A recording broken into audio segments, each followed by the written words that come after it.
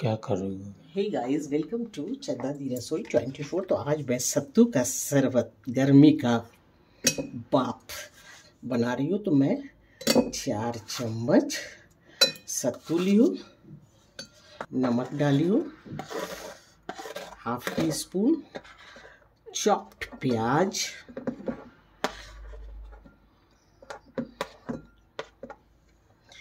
एक हरी मिर्च कटी हुई चाट मसाला, काली मिर्च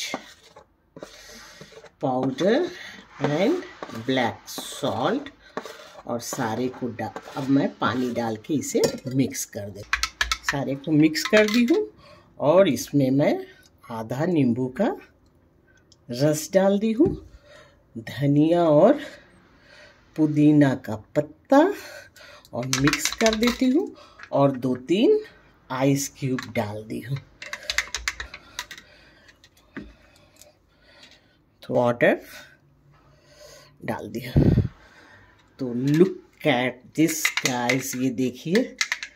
यमी यमी सत्तू की शरबत बनके तैयार है, जो कि समर में प्रोटीन युक्त शरबत होता है, आप इसे मॉर्निंग में पिए, बहुत अच्छा है, बहुत बढ़िया होता है, बहुत फ़ायदे का है। और मैं इसे ज़रा पी के देख लेती हूँ।